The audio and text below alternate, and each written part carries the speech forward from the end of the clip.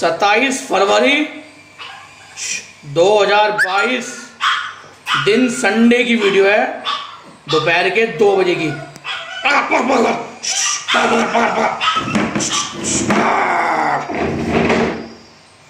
Ah!